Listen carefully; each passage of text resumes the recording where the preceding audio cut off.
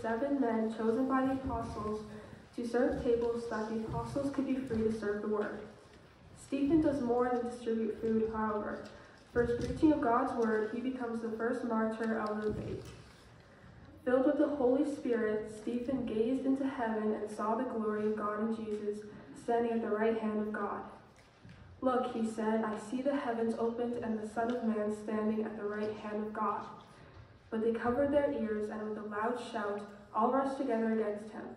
Then they dragged him out of the city, city and began to stone him. And the witnesses laid their coats at the feet of a young man named Saul. While they were stoning Stephen, he prayed, Lord Jesus, receive my spirit. Then he knelt down and cried out in a loud voice, Lord, do not hold this sin against them. When he had said this, he died. A reading from 1 Peter. Like newborn infants, long for the pure spiritual milk, so that by it you may grow into salvation. If indeed you have tasted that the Lord is good, come to him a living stone, though rejected by mortals, yet chosen and precious in God's sight. And like living stones, let yourself be built into a spiritual house, to be a holy priesthood, to offer spiritual sacrifices acceptable to God through Jesus Christ. For it stands in Scripture See that I am laying in Zion a stone, a cornerstone, chosen and precious, and whoever believes in him will not be put to shame. To you, then, who believe, he is precious. But for those who do not believe, that the stone, the, that the stone of the builders rejected has become the very head of the corner, and a stone that makes them stumble, and a rock that makes them fall. They stumble because they disobey the word, as they were destined to do but are chosen, but you are a chosen race, a royal priesthood, a holy nation, God's own people, in order that you may proclaim the mighty acts of him who called you out of darkness into his marvelous light. Once you were not a people, but now you are God's people. Once you had not received mercy, but now you have received mercy. Awesome. That's right.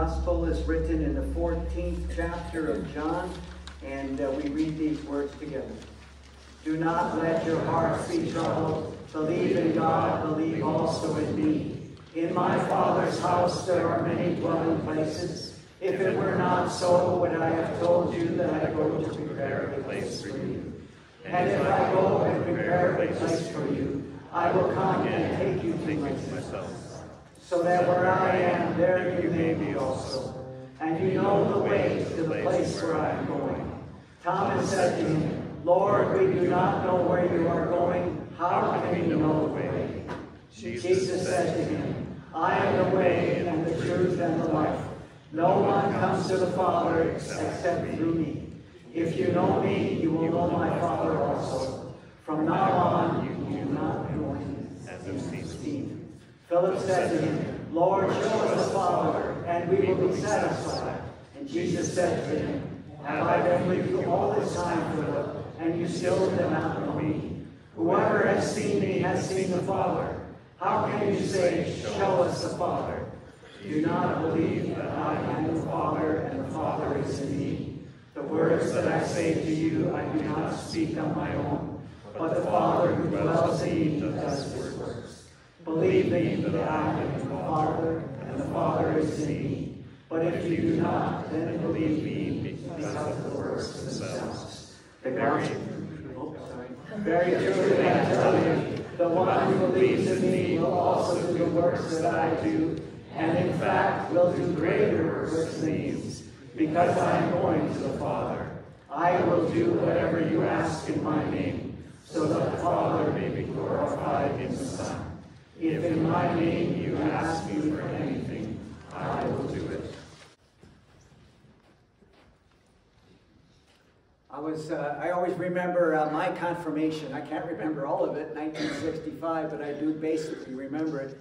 And I remember examination Sunday. How many of you had examination Sunday? Yeah, we're, we're going to do that again today, okay? I'm going to ask the kids uh, very pointed questions about Lutheran theology and Martin Luther. I can't. you know why pastors drop that? Because the kids would often freeze like that and not know the answer. And rather than blame the kid, the parents blamed the pastor. so that was it. The pastor said, We're not doing this anymore. And uh, I think it's all for the better. Uh, these kids probably didn't know, uh, they didn't know what you had to know in confirmation, right? Memorization, I bet you we had to memorize 200 Bible passages. We had to recite them. Can you imagine a class of 44 kids, one pastor, and he had to listen to all the recitations of those things? My gosh, I can't believe that. Anyway, uh, the other day, um, Scott, sorry Scott, I'm, I'm, using you in my sermon today, but he doesn't mind. Scott uh, came back from uh, a trip to Mexico and when he landed, he, uh, he called me or texted me, I forget which one it was, and he said, Three hours of turbulence. They never shut off the fasten your seatbelt sign. It was white knuckles on the sides of the chair, and it was scary. And then he asked me, he said, uh, Does turbulence bother you? And I thought about it, I said, I guess when we came back from Costa Rica, we had a couple hours of it, and it didn't bother me. Not to say that I'm a better person, but I said, turbulence in the airplane is a metaphor, right? And I think that uh, it doesn't bother me anymore because I've had enough turbulence in my life that I'm okay with turbulence. I know that the turbulence is temporary and God will get us through. After I thought of that story, I thought of another Scott story. We were, uh, sorry, it's better than mom. Mom doesn't want me using any stories. uh, we were uh, on a fishing trip up uh, north Emma Lake. Not a great fishing lake, but we had access to a canoe, and it was a cool day in uh, June. He and I were the only ones on the lake, and uh, we were paddling along the shore, and I noticed that the wind was picking up. And uh, in order to get back, we had to go through some water that was two to three foot waves in a canoe. And the water started coming over the sides of the canoe. And, uh, and I was paddling hard. We, uh, we were going, and my heart was pounding. And I thought, what am I going to say to Carol if something bad goes?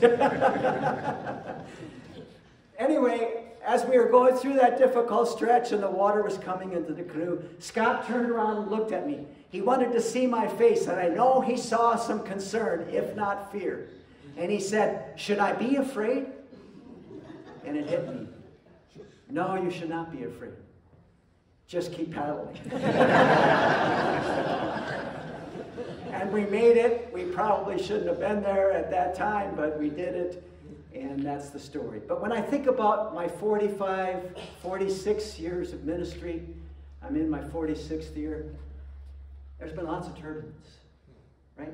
This morning I was in a, a palliative situation at the Pasqua Hospital. And I don't know how many hundreds of times I've been in palliative care. And I remember my uh, the parish that I had in Prince George. One of the first uh, Saturdays I was there, the RCMP called me and asked if I would go with them on a call. And I said, sure. And uh, as we got to this person's house, they, they said to me, uh, their daughter has just been found, 13 years old, brutally murdered. Uh, we're going to leave you with the family.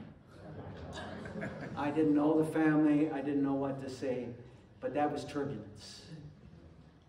And other stories of a 17 year old hitting a moose in the car after he and his mom had an argument. And on and on the stories go. But the more turbulence you have in your life, and when you get through that turbulence, and you know that it was God that helped you through the turbulence, the stronger you become, the braver you become, the more courage you have in your heart. The true metaphor of turbulence on the plane is the seatbelt. They always tell you to fasten your seatbelt. And when you see some of the pictures uh, going around now of uh, turbulence where everything is laying in the aisle, all of the trays and luggage has fallen, and people flying through the air, you wear your seatbelt. And to me, the seatbelt is a metaphor for faith. Every day, especially in times of turbulence, we have to fasten that seatbelt and buckle it up, pull it tight, and know that God is with you. And through faith, we get courage. From faith comes courage, and we carry that courage in our heart. We had a very uh, interesting year this last year in confirmation, and uh, it took a while for the kids to open up. Uh, basically, they've had three years of COVID, right? Three years of COVID. And uh, I think all of us have had a difficult time getting through this, but the young people have done remarkably well, but it wasn't always easy. This is probably the most turbulent time for some of these young people. Time of turbulence where you wonder what's going to happen next. Is my family going to be okay? Am I going to be okay? Are we going to survive as a society, as a culture, as a people? We did. We survived. We got through. And faith is what kept us strong. Usually, our prayer for these kids or a prayer at baptism is that our, our children will never experience any hardships or difficulties in life. That shouldn't be our prayer. We don't want to pray that you have lots of problems, but the reality is that you will have turbulence in your life. That's the way it is. Especially in the next 10 or 15 years, there's going to be lots of turbulence. Do not be afraid in the gospel reading that we often read at funerals. Do not be worried and upset, Jesus said. Do not be worried and upset. I am with you. I know that uh, some of the kids are already in high school, but the grade 8 kids have a great deal of uh, fear and anxiety about what high school is going to be like. And when you're in grade 11 or 12, you look back, oh, that's no big deal. And it's no big deal for us who that's way past. But for grade seven and eight kids who are going to go into high school, it's a very anxious time. Do not be afraid. Do not be worried and upset. God is with you. Buckle up the seatbelt. Put courage in your heart. And you're going to have four awesome and amazing years. You're going to have an awesome and amazing life. And when somebody asks you at age 72, are you afraid of turbulence? No, I don't think so. Because God has been with me through all my turbulence, and I am okay. Amen. The following people uh, have uh, been instructed in the Christian faith and desire to make public affirmation of their baptism this morning.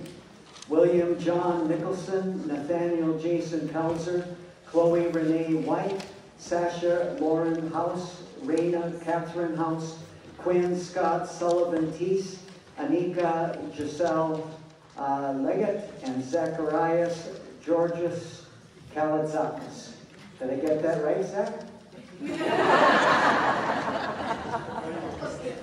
Which name did I butcher? All of them? Zacharias I got right. Yeah. Georgios? Georgios?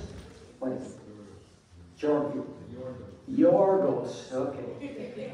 See, I'm not very Greek. You know that. Anyway, would you all come up and go to the places that you were in the other day? I need Anika over here on the corner.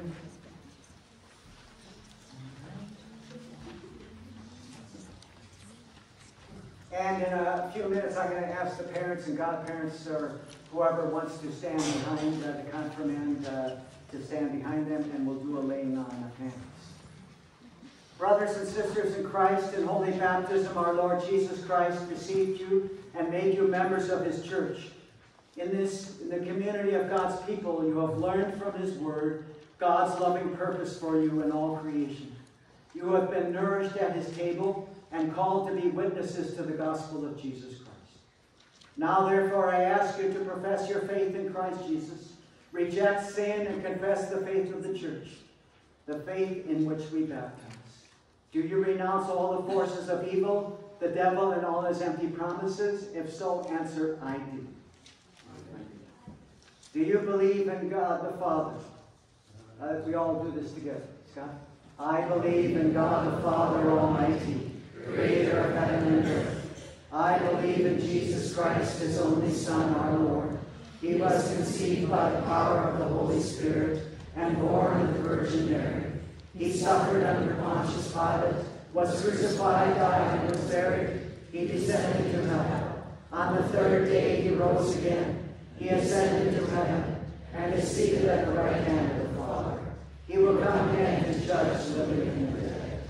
I believe in the Holy Spirit, the Holy Catholic Church, the communion of saints, the forgiveness of sins, the resurrection of the body, and the life everlasting.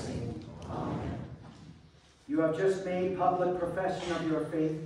Do you intend to continue in the covenant that God made with you in holy baptism?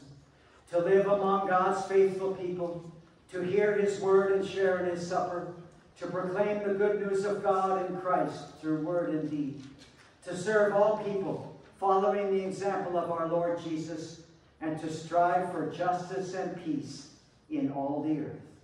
If so, answer, I do, and I ask God to help and guide me. I do, and I ask God to help and guide me.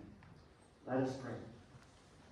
Gracious Lord, through water and the Spirit, you made these men and women your own. You forgave them all their sins and brought them to a newness of life. Continue to strengthen them with the Holy Spirit and daily increase in them your gifts of grace, the spirit of wisdom and understanding, the spirit of counsel and might, the spirit of knowledge and the fear of the Lord, the spirit of joy in your presence. Through Jesus Christ our Lord. Amen. Hey, would uh, all the confirmands kneel on the top step there? Just, oh.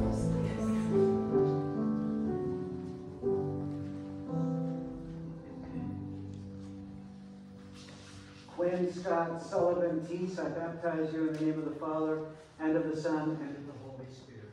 Amen. May God strengthen and preserve you in the true Christian faith until life everlasting. Amen.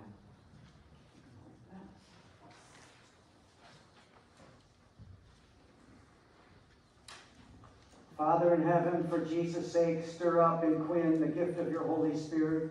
Confirm his faith, guide his life, empower him in his serving, give him patience in suffering, and bring him to everlasting life. Amen. William John Nicholson. Father in heaven, for Jesus' sake, stir up in, in William the gift of your Holy Spirit. Confirm his faith, guide his life, empower him in his servant, give him patience in suffering, and bring him to everlasting life.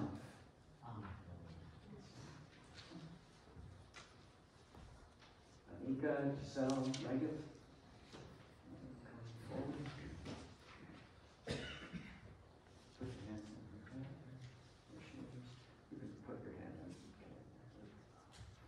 Father in heaven, for Jesus' sake, stir up in Anika the gift of your Holy Spirit. Confirm her faith and guide her life. Empower him, her and her serving, and give her patience and suffering, and bring her to everlasting life.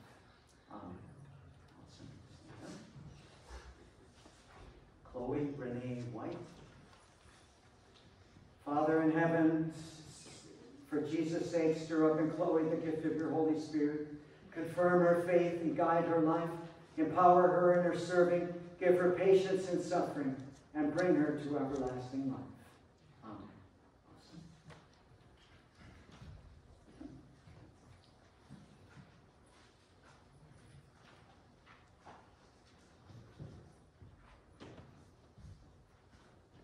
Sasha Lauren House. Come through there. There you go. Put your hands. There you go. Father in heaven, for Jesus' sake, stir up in Sasha the gift of your Holy Spirit. Confirm her faith, guide her life, empower her in her serving, give her patience in suffering, and bring her to everlasting life. Amen. Awesome. Catherine House. Father in heaven, for Jesus' sake, stir up in Raina the gift of your Holy Spirit. Confirm her faith, guide her life, empower her in her serving, give her patience in suffering, and bring her to everlasting life.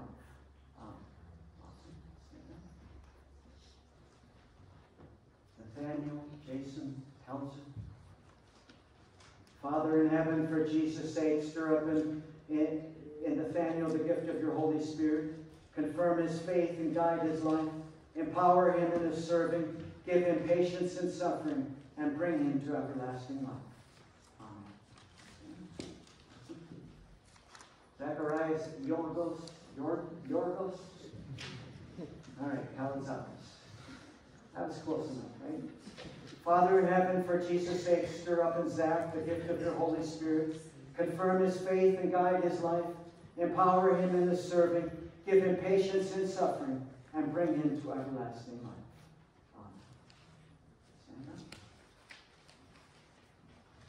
God's peace be with you. Let's share God's peace with one another.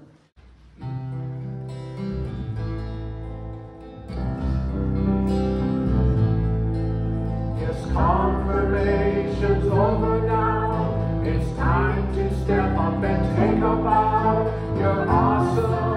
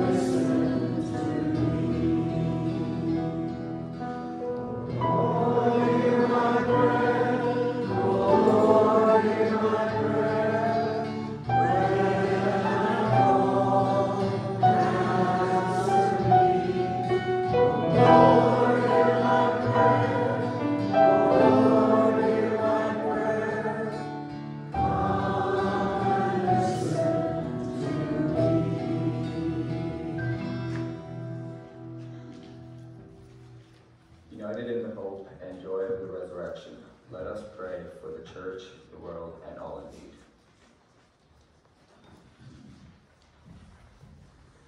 God of life, strengthen your church to proclaim your gospel even in times of trouble. As we remember Stephen, we give thanks to, for diaconal ministry. Bless all deacons and strengthen them for bridge building ministry between church and world. Hear us, O God. Your Creating God, you show your steadfast love through mighty waters, towering mountains, verdant fields, and arid deserts. Protect the Earth's diverse habitats from the forces of pollution, erosion, extinction, and global warming. Hear us, O God. Your mercy is great. Mighty God, your Spirit guides us into all truth. Give wisdom to world and local leaders and organizations as they begin, build, or renew relationships. Strengthen leaders and aid organizations in areas needing to be rebuilt following conflict, unrest, or natural disaster. Hear us, O God. Loving God, you make your home among us. Abide with refugees, those experiencing homelessness, those fleeing war and poverty, and all who question if there is a home in your heart. We pray for all who are sick, especially Richard, Lorna, Marla, Bernard, Erica, Verda, Ruth. Hear us, O God. Assuring God, you accompany your people amid uncertainty and change. Uphold people in this community who have recently moved, changed jobs or schools, retired, or are going through transitions of any kind. Lead us in your way. Hear us, O God. Renewing God, you gather the saints at your heavenly banquet. We give you thanks for the care shown us by those who have gone before us. Grant confidence and comfort for all awaiting the place you have prepared. Hear us, O God. Your mercy and grace, rejoicing in the victory of Christ's resurrection, we lift our prayers and praise to you, Almighty and eternal God, through Jesus Christ, our risen Lord. Amen. It was an awesome morning, and actually, uh, to be honest, the confirmation program I feel is very important and uh, very powerful. Um, I, I'm not gifted in all aspects of ministry, but I think confirmation is one of the aspects uh, that God has given me gifts for, and um, the kids have learned something, and they've learned something about their faith. They can't recite all the Bible passages that you know, but they know that God is with them, right? That's what's important. We're going to extend our hands. You can grab hands next to each other if you want. We're going to sing Go Now in Peace.